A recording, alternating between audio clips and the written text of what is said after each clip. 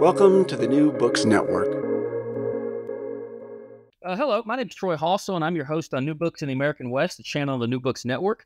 Today I'm speaking with Amanda Van Lanen. She's a professor of history at Lewis Clark State College in Lewiston, Idaho, and we're discussing her new book, The Washington Apple Orchards and the Development of Industrial Agriculture, published by the University of Oklahoma Press in 2022.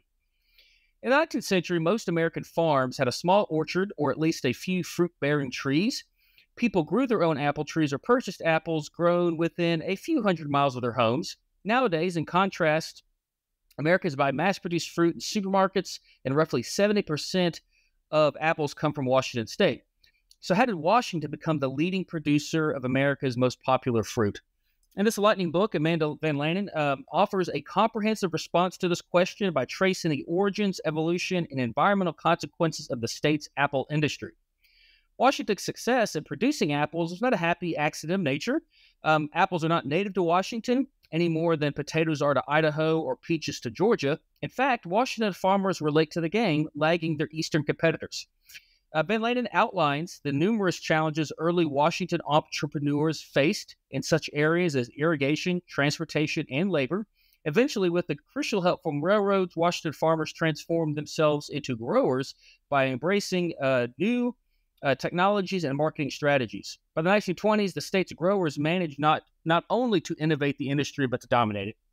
Industrial agriculture has its fair share of problems involving the environment, consumers, and growers themselves. In the quest to create the perfect apple, early, or excuse me, early growers did not question the long-term environmental effects of chemical sprays. Since the late uh, 20th century, consumers have increasingly questioned the environmental safety of industrial apple production Today, as this book reveals, the Apple industry continues to evolve in response to shifting consumer demands and accelerating climate change.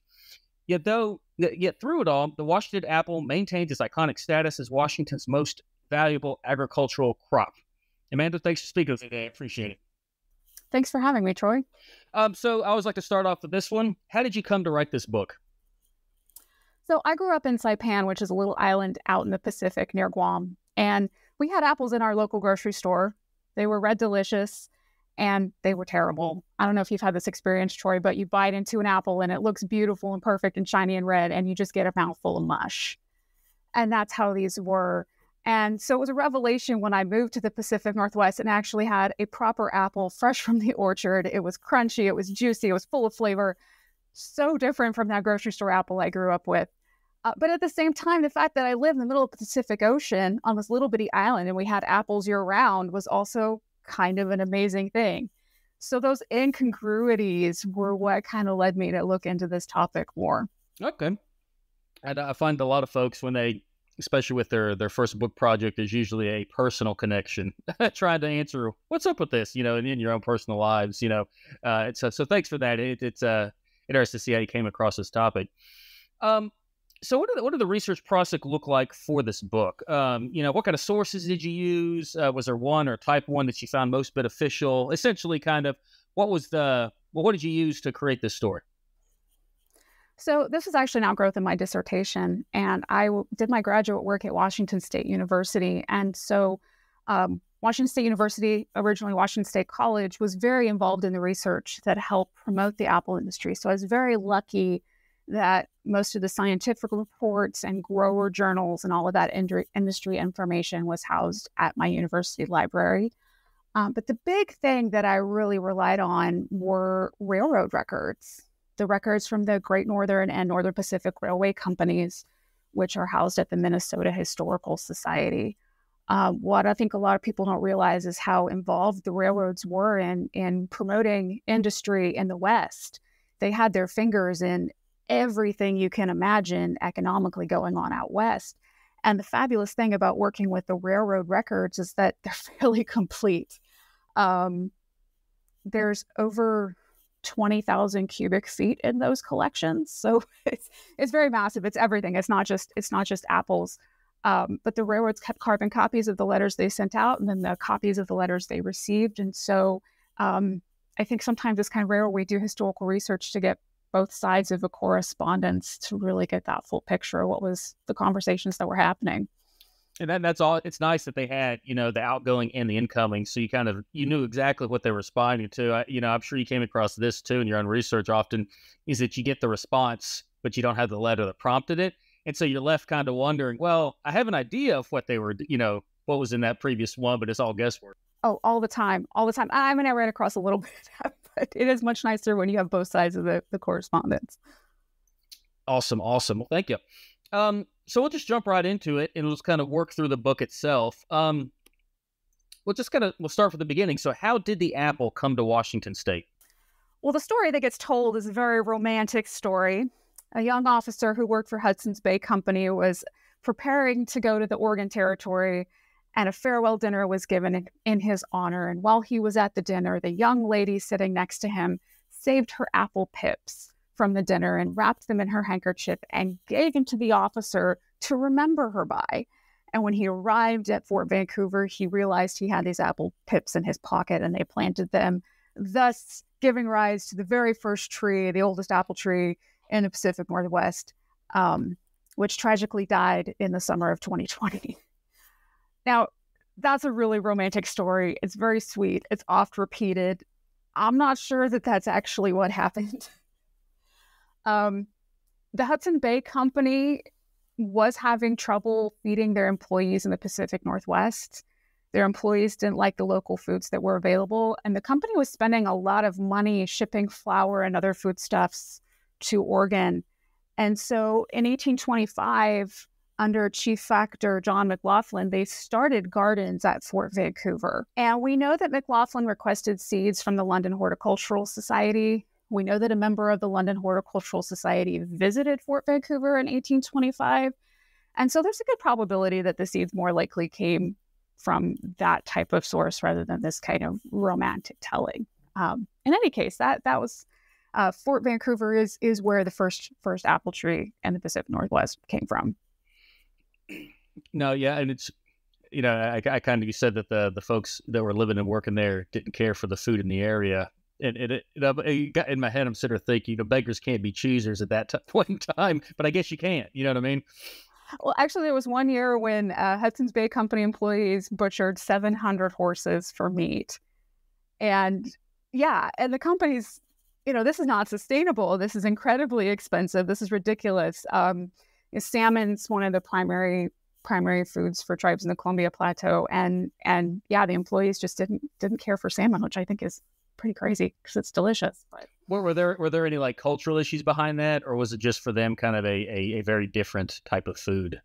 It, has been a maybe, maybe yeah, I, to do. I'm just kind of curious. I'm not that. sure. I'm not sure. I've not run across anything. Um, I didn't delve in that too deeply, um, why that was the case. But um, Hudson Bay Company had established uh, previous agricultural experiments in the Red River Valley, and and so they had tried this before as a way to cut costs. So the idea of starting a farm wasn't exactly new for the for okay. the company. Well, I mean, to kind of build off of the, the, the starting farm, so they can you know at least produce some of their food. Um, was was the apple like front of mind when they were doing that, or was that just kind of one of many things that they tried to to, to try to produce some sort of food source for the for the, the folks working living and working out there? For the Hudson Bay Company, it was one of many things. They primarily um, grew things like timothy, alfalfa, wheat, um, things that could be animal fodder or things that could feed their employees. Um, they had orchards with a variety of fruits, grapevines, vegetables. They tried a lot of things. So for the company specifically, it was more um, about feeding feeding their employees. But for Americans, as Americans were moving west, apple trees did have a very large significance, not just as a food source, but as a symbol of taming the frontier. So, for example, in the old Northwest Territory, in order to prove a land claim, you had to plant 50 apple or pear trees to prove that claim. And so, as settlers start coming on the Oregon Trail, apples carry that additional significance of kind of demonstrating civilization in a sense. Uh, and so for me, that actually does sound like a, a bit of a familiar story. I, I, think I'm more familiar with it, um, and it's not an either or; it's probably both thing. Thinking in terms of like the the elm tree, you know, the tree of New England, that as the the U.S.'s borders moved west, folks would bring with them, you know, the plants that reminded them, or like you said, signified, hey, this is this, you know, in a sense, this is now ours, you know, and and um, know, it would take root and, and, and things of that nature.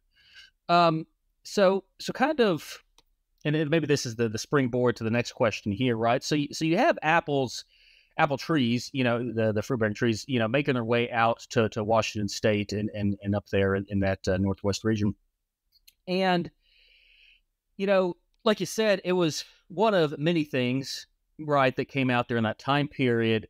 But you know, the book you wrote is called the Washington, you know, Washington Apples. You know, so so kind of expand on that. Like, what, um, in this case, you know, what roles did like the railroads and then irrigation and stuff in in play in kind of creating this environment, whether like it's the actual environment or maybe more kind of a mindset or the economic part that made it possible to, to, to start a, burgeoning Apple industry there in Washington? So, just to kind of lead off into this, apples were grown everywhere. Um, it wasn't just Washington in the early years. They were tried in many places in the West, in many irrigated districts in the West. Um, and every county in Washington state at the turn of the century had some commercial apple production. So this started out as something fairly widespread. Um, where we get the convergence of irrigation and railroads, um, railroads become involved in a variety of economic activities because they need something to haul on their lines.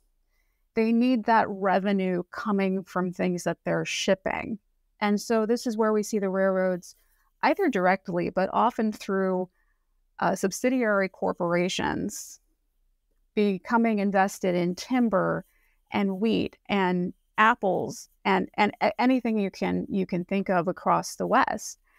And so as the railroad companies are kind of looking at the lands along their lines they're trying to figure out how to maximize their profits and how to make these areas as economically viable as possible. So they're thinking in terms of what's going to be the most profitable industry for a particular area. So central washington is very dry and this is something I have to explain to many people who've never been out to Washington. Um, even my publishers tried to shoehorn the Evergreen State into my title. like, that's the west side of the state where they get rain. East of the Cascades, it's very dry, and the areas that ultimately become the primary growing regions in the state get less than 10 inches of rain a year. So, as folks are looking at these areas, um, there had been some early mining rushes in the 1860s and 70s. And miners that remained behind had turned those mining diversion canals into irrigation canals and had shown that the soil was actually really quite fertile. It's it's rich volcanic soil. It's just dry. And so the idea was, well, we can irrigate these areas. And this is also at a time when, you know, Frederick Jackson Turner is saying the frontier is closed. There's no more opportunities out west. And so what are our options? And there's a group of people kind of nationally as part of this conversation saying, well, if we irrigate the West, that's going to open more land. That's going to kind of help solve this problem that Turner has outlined. So that is really part of the impetus for this and trying to irrigate these areas. Now, a good deal of irrigated land in the West was put into alfalfa and cover crops. Those aren't particularly profitable. If you're going to irrigate, you need to grow something that can that can turn a profit. And so, from very early on, uh, both the Northern Pacific and the Great Northern Railroad were encouraging people who purchased these tracts of land to grow apples because the idea is this is a, a higher value crop. Apples can be stored better than other fruits, and this is something that can potentially be profitable. Um, in fact, the the promoters in Wenatchee said dollars grow on trees. This is a place where dollars grow on trees. Right? All you show up, um, sit back and wait for the money money to roll in. Of course, the railroads have an alternative motive as well. They're not just trying to create traffic to haul. Um, the Northern Pacific had land grants that it needed to sell, and bare desert land was practically valueless. Um, the Great Northern did not get land grants, but it did have a, a real estate department, and it was involved in several real estate uh, companies along its lines. And so both of these companies also had the kind of added incentive that they wanted to sell these lands and make a profit. So, very reluctantly, both companies ended up investing in irrigation so that they could settle and sell the lands that they had. You know, often in large, it's it's just something I've never studied railroads to to any kind of real, you know, uh, depth. But as, you were talking about railroads and their multifaceted role, kind of going out west, you know, I had the light bulb go off in my head, and at the same time, I felt like an idiot because I'm going, well, yeah, they're not building railroads for the sake of doing it. You know, you know, you know, going west, you know, they can move people uh, in building supplies to help build these towns for those that have land grants or the real estate departments and stuff like that. But like in my back of my head, I'm going, well, why on earth did I not even realize they also want to ship stuff back east? You know, and, and it was just something mm. that I, I I don't know, took for granted or was, you know, ignorantly unaware of as far as just the fact that it's the, the shipping companies. I mean, that's literally what they do. And, and almost to an extent that like I was more familiar with the real estate side of, of railroad companies and, and that part of their business than I was the shipping, which is why they kind of existed to begin with. I don't know. That, that's just kind of me you're professing my ignorance on, on a topic there. Well, and they they try to. I mean, this is also getting into an era when we're talking about trust busting and concerns about monopolies. So they were trying to be very strategic in how they, the public face of what they were doing. So, for example, things like the Wenatchee Development Company, which um, the Great Northern was invested in. It wasn't a Great Northern subsidiary, but if you look at the board of directors of that company, like half of them are Great Northern officials. So you see the fingerprints of the railroad in different ways. Sometimes it was a subsidiary corporation or a subsidiary of a subsidiary uh, where they would try to put some distance between themselves and these other economic activities. Or sometimes if it was a case of of railroad officials sitting on the boards of separate companies. So they're technically separate, but when half of your board of directors is made up of railroad officials, there's there's a strong connection there. Yeah, I think kind of definitely feel has a feel of a, a very incestuous type relationship almost. Um, very much so. Yeah, which whether then or now, maybe maybe that's it's definitely doesn't seem to be an uncommon um uncommon type thing. Um, so kind of the second part of the question um to kind of chapter here. So so you have railroads building towns.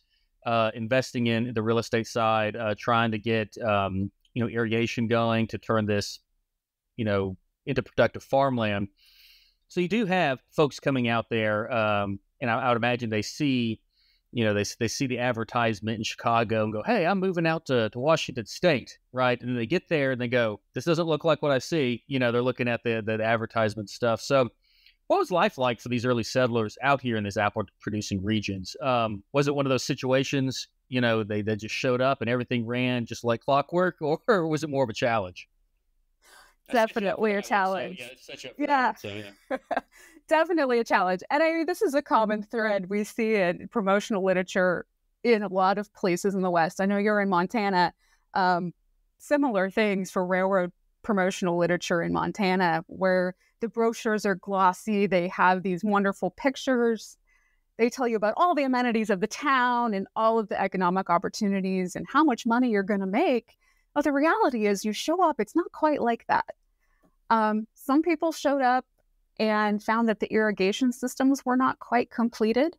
And so they didn't actually have water yet. Um, people showed up and, you know, not not quite realizing how much of a desert it was and and not realizing how much work it was going to be. So part of the problem is the people that they're attracting to these orchards, they they were really targeting kind of middle class white individuals. Many of the people who moved to central Washington to start orchards had no farming experience. And even if they did have farming experience, irrigation is a whole new ballgame. So really people had no idea what they were doing. And then you couple that with the fact that even if you do plant your orchard, you're not going to have a bearing fruit tree for about five years. So, in the meantime, how do you support yourself when you've sunk all of your money into this plot of desert that that you're trying to make a living on? So, pretty. I, I was never able to pin down exactly what the failure rate was, but there were quite a number of people who who moved on now, and that was a thing I, I, I didn't realize exactly how long it did take for um, an apple tree to produce fruit. And so, if you're really, like you said, if you're moving out there to, to create an orchard, You know, to you know, like you're right. How, how are you going to support yourself for five to seven years until that thing starts to, to actually produce a, a crop that you can turn around and sell? Um, I, I, could easily see, like I said, you weren't sure about the failure rate. I, I, I suspect it was probably pretty high, unless you're moving from New York State and you already had apples. You know what I mean? Um, and the, the out west really is bringing some knowledge with you. Um, yeah, yeah. Was... and there's a lot, a lot of concern about absentee ownership, but I mean, the reality was people had to make a living, and so there were a lot of people who um, would tend to their farms as best they could, but they had their job in town that they had to maintain. Otherwise, they couldn't support themselves. Yeah. Yeah. Okay. Well, so you do have folks that get out there, and, and obviously somebody's able to get a work going. Um, so can you can you talk about just that process? Not that it's like you know you start here, you end here, but just overall, like how did uh, these growers manage their orchards? And, and, and really, I'm just kind of asking you you know, from year to year, what did their job look like when they were trying to produce crop for profit? So most of these orchards were fairly small, around 20 acres or so. And the idea that these would be manageable farms that, that a family could perform most of the labor on themselves with the exception of some additional help at harvest. So once your orchard was established, you'd start kind of in the in the late winter, early spring, monitoring your trees, making sure you weren't going to get a freeze if you needed to put out smudge pots or orchard heaters or something to make sure in case there was a last freeze. Um, that would be followed by a cycle of, of pruning in the early spring, and then you'd have a series of um, sprays. So, one of the big problems with orchards is codling moth. And so, you would have to spray pesticides to, to take care of that in your orchard. And in fact, that was actually required by the state board of horticulture. You had to spray your orchard, otherwise you would you would be fined because the threat of those pest infestations could affect your neighbors and everyone around you. Um, and then the big work would come in the fall at harvest time. And so in the early years, um, folks would harvest and then they would pack the fruit right there on the orchard. And so there's pictures of these little these little sheds that people have set up in the orchard where they're packing the picking the fruit and packing it immediately. Um, in later years, most of the fruit would have been taken to a cooperative where it would have been collectively packed by hired professionals. Um, and then that's that's that's kind of your year. That's kind of what your year would look like in terms of of labor. Okay. Well, you know, one thing I actually did talking about packing, that was actually part of the part of the story I found most interesting is that, you know, there appeared to be kind of a an art slash science to storing these apples, whether it was, you know, and I forget I forget the term for it, but you know, you had boxes out west and you had barrels out back east. But in each instance, right, there was a certain way to do it to ensure that those were, were decent crops for storage and then later on. So could, could you kind of talk about that, the whole packing thing? You know, I, I don't know. Um, you know, just you know, because like I said, they, they could store for so long, right? And you, you need enough. Uh, so I don't know. Could you just kind of talk about the packing process? Part of this is because there's the added cost of, of transportation and the cost of growing the apple. So Washington apples cost three times as much as an apple produced in New York. And so from the get go, growers had to figure out how, how to add value to a fresh piece of fruit. And so the way they did that was to create the most perfect apple they could possibly create. So um, this is at a time before Eastern growers are really using pesticides. Uh, their Washington growers are spraying their apples so you don't have wormholes. Um, and then they're wrapping them individually and packing them in boxes. So um, back east, barrels were used, a, a roughly equivalent three boxes per barrel, kind of how, how the equivalencies work out um, growers were told to just jam the apples in the barrel and make them so tight the apples didn't rattle around. And it was expected that the top and bottom layers of the barrels would just kind of get smushed and mushy and juicy and seep in, and that was that was fine. Whereas Washington growers wanted to make sure everything was pristine. Now, part of the reason they adopted boxes was because there weren't the hardwoods out here that there are back east that are needed for barrel production. Um, but boxes are also easier to load onto a rail car. And so um, they had packing schools in the early years to teach people how to pack. Apples would be sized so that the sizes refer to how many apples fit in an apple box. So the higher the number, the smaller the apple. And and um, you know, they would they would hire people who would come back and do this job year after year because it, it paid fairly well um, to size and clean and wrap and pack the apples. Sure. Yeah, no, that was just probably one of my most interesting parts of the of the the story on the whole process there.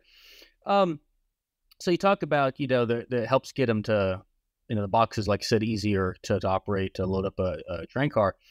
Um, what challenges did growers face in getting their fruit to market, and then how do they try to address those challenges? So many challenges. Um, the biggest one being a distance from markets. Um, you know, the primary markets are two, three thousand miles away, and so you're putting your apples on this rail car, and you're just kind of blind uh, you have to trust the people on down the line who are facilitating the sale of these apples and trust that they're not um, cheating you. And that that was very difficult. Um, growers partly solved that that problem by forming cooperatives. Now, this was a really challenging thing because growers had been sold on these orchards by the fact that they would be independent business people. You know that you're you're gonna you're gonna own your own business you're gonna be your own boss. And so the idea of joining a cooperative was kind of the antithesis of of the individualism that had been kind of baked into the sales pitch but at the same time there's no way one single person can be an expert in every step of the process when we're trying to market something at a distant location so cooperatives became part of the solution where you could join the cooperative. Um, some of these cooperatives also including packing and storage and, and shipping and took care of that. Some of them were more more simply marketing cooperatives um, where where there were people who could coordinate sales and coordinate where things were being shipped and keep an eye on market demand and prices um, and advertise. So um, this is also a time in the United States when we're seeing the kind of beginnings of of branded characters. And so, for example, the the uh, Skookum Indian becomes one of the early branded characters. Uh, the Northwest Fruit Exchange introduces that character in 1916. It's a it's a cartoon Indian that is used to advertise Washington apples, magazine ads, uh, billboards, promotional cookbooks, all the kind of marketing things that that other companies are doing, cooperatives are also doing to try to try to raise awareness and get people to buy more Washington apples. So, so the cooperatives, like you said, um, you know, no one farmer is an expert of the entire from production to sale, right? And so cooperatives allow them. Sounds like the kind of a bunch of farmers and stuff and growers can come in and um, kind of uh, come together and let different people do different parts of that job. But you know, for me, I was sitting there thinking, and so kind of tell me if I'm I'm on the right track here. Did this allow them to kind of do stuff at you know, in, in a sense, at scale, um, in a way to kind of save money? You know, and here I actually am thinking about the packing and the shipping, right? Because you know, if if if one co-op or one company can buy all the materials at a much higher volume, you know, then all of a sudden the box per box becomes cheaper, right? Then that actually ends up being more money in the pocket of the farmer.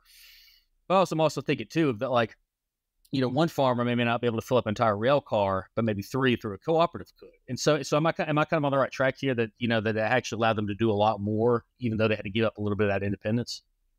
Absolutely, absolutely. And there were some cooperatives that simply were buying cooperatives. They didn't do any marketing. They just help help growers pool their resources to get a better price on on supplies.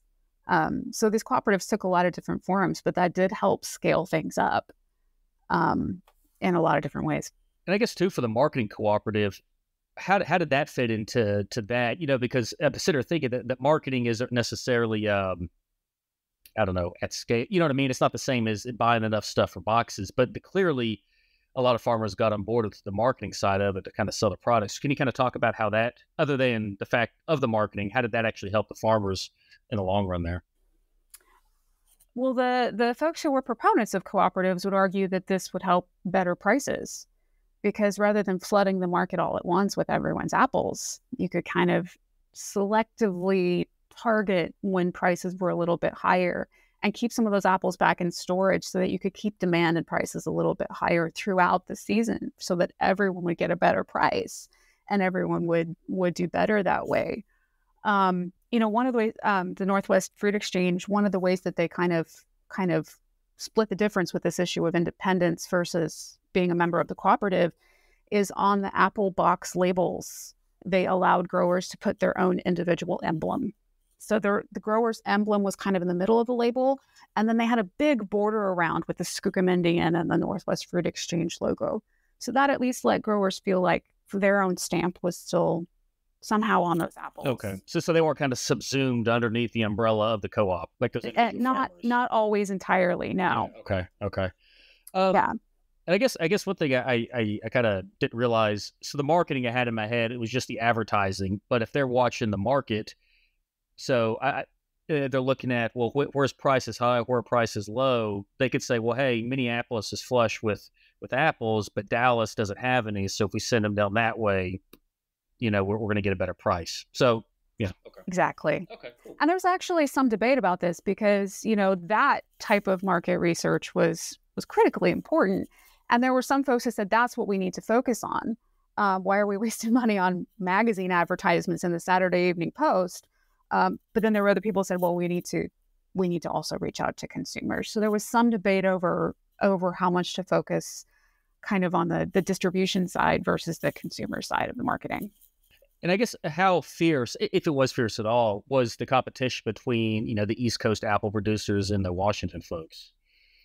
Not much at first. I mean, I think the New York growers kind of didn't pay much attention to Western apples until the late teens and early 20s, at which point they kind of realized, oh, no, these apples really are um, giving us a run for our money, and this is a serious competitor. And I mean, the thing was, New York's orchards were very well established.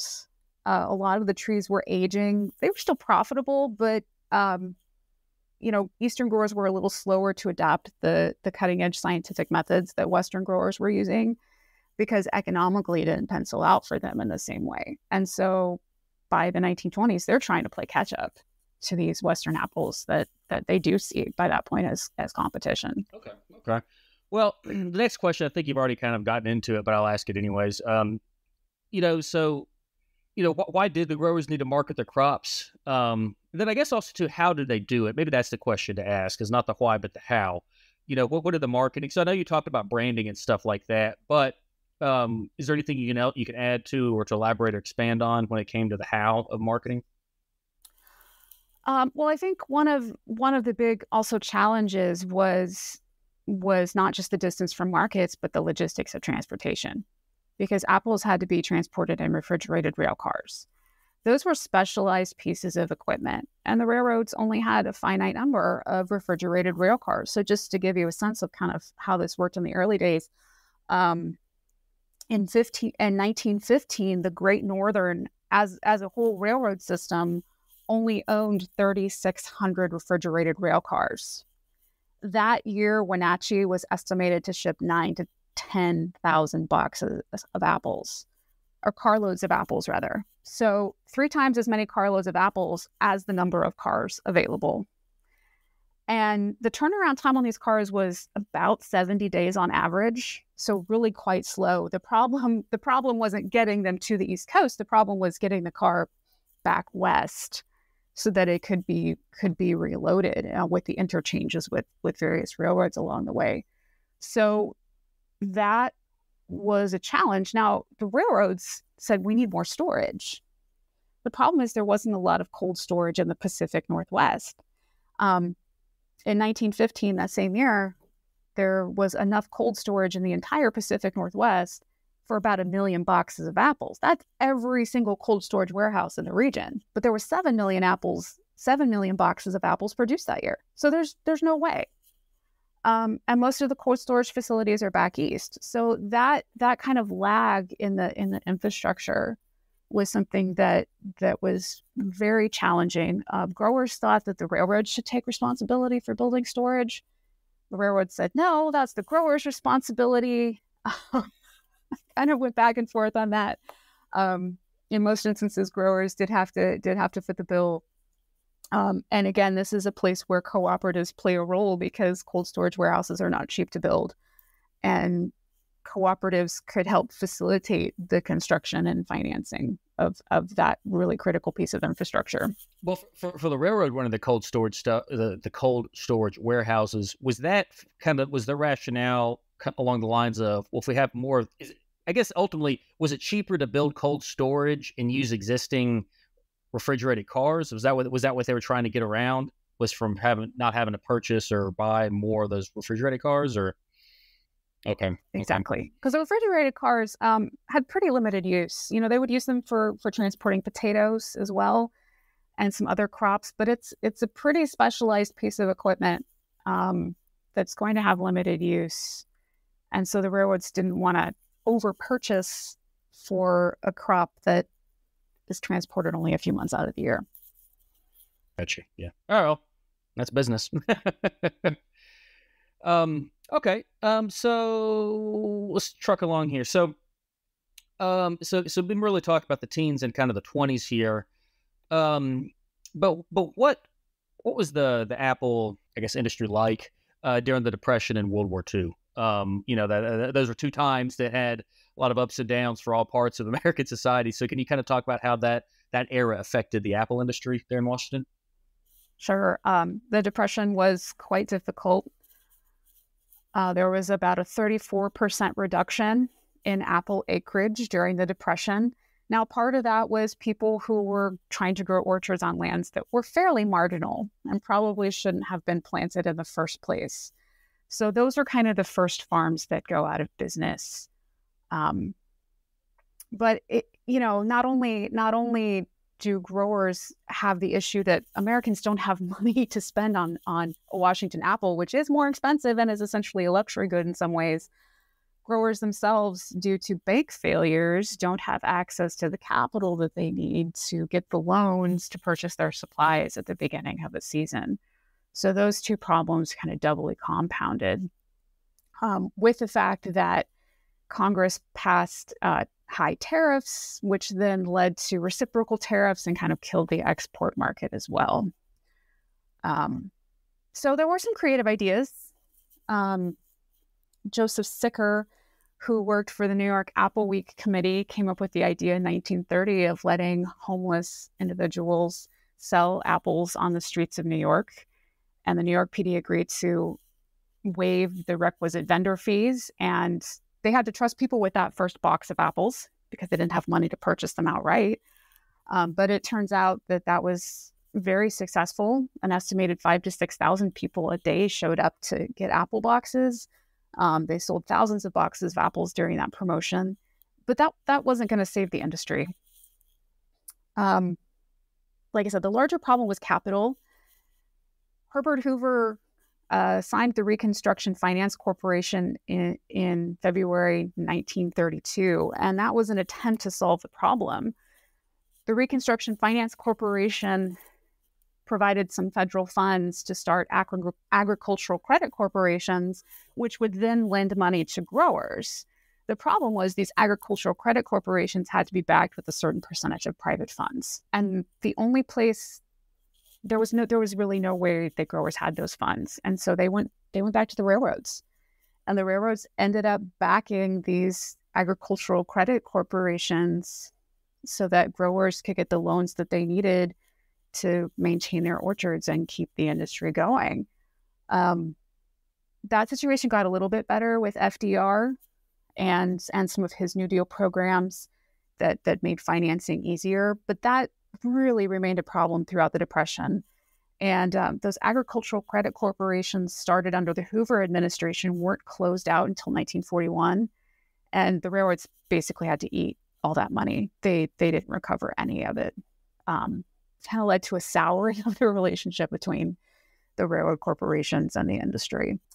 Um, World War II, of course, is a little different situation. You know, people people have funds, but because of the war, transportation was a little bit more limited. The military requisitioned about 20% of the apple crop. And fresh apples were seen as something that would help boost the troops' morale. kind of like Coca Cola. You know, you get a fresh American apple and a Coca Cola and make you feel like you're you're at home. But because of those military requisitions, all of the best apples were being shipped overseas to the military. And what consumers were left with were the red delicious apples. The military didn't want to requisition those because they're difficult to store. And we all know what happens to red delicious apples. They get warm, they get mushy. Um, transportation delays, lack of rail cars. And so what consumers were getting in the stores was was really suboptimal and it hurt the industry tremendously. They had to invest a lot of money, have a big PR campaign after the war to try to to try to fix that reputation. Um, and I should also mention that one of the things we've been talking about marketing, one of the things that finally came to fruition during the Depression was the creation of the Washington State Apple Commission in 1937, which was uh, a statewide advertising and marketing research agency. And this was something that that people, some people in the industry have been calling for for a long time, was coordinated statewide marketing. And the Depression finally finally forces that hand, and we finally get that. Um, so into the last chapter here. So so the, the, the bulk of your store really seems to cover kind of that turn of the century, kind of the creation of the, the, the Apple industry there in Washington. But the last chapter, you kind of take it forward almost to present day. So so what is the future of the you know, or maybe what does the present and the future look like for the Apple industry there in Washington? This is, I think, something that all agriculture is dealing with right now, but climate change um, how how are we going to address the issues of climate change? A lot of the things that growers had to deal with hundred years ago are are still issues. You know, how do you control pests? How do you um, manage the climate? Uh, in recent years, our snowpack hasn't been what it is. We've been drier. Um, growers used to have to worry a lot more about keeping orchards warm, and now the conversation has turned to how do we keep the trees cool enough? Um, two years ago, we had uh, a big heat wave that hit in June. We had several days over 110 degrees. You know, that's not the kind of climate that apple trees thrive in. So that is kind of the big question moving forward um, that researchers are are looking at and and trying to address. Uh, the Tree Fruit Research and Extension Center, also an outgrowth of the Depression, it, it was founded in 1937 and it's still active and still going. Um, that's an arm of Washington State University. They they have been researching a lot of these issues and dealing with a lot of these issues. And one of the more recent things that that they've introduced is the Cosmic Crisp variety, um, which was developed specific, specifically for our climate here. So they're looking at things like um, more disease resistant varieties, more drought resistant varieties, heat tolerant varieties. Um, how how can we adapt to the changing environment and still produce food? And that's that's kind of the big question. Yeah, yeah, no, it's a big one. it is a big one. You know, it, it's for me. I kind of think in terms of uh, flathead cherries up in the Flathead Valley, you know, there were kind of these microclimates, and then and then when that starts to get out of whack, you know, what happens to that very um, I don't know if, if you call it niche crop, but it requires a very specific type of environment for that to even be possible. Um, so it's kind of thing I'm I'm I'm curious about to watch going forward. Um, yeah. Um, so kind of the big one here. Um, so what's uh, how does this book help readers better understand the American West? I think one of the things, like like we were talking about earlier, um, how much the railroads are are really their fingerprints are all over the West. It's not just the rail lines. It's not just the towns they develop in the real estate.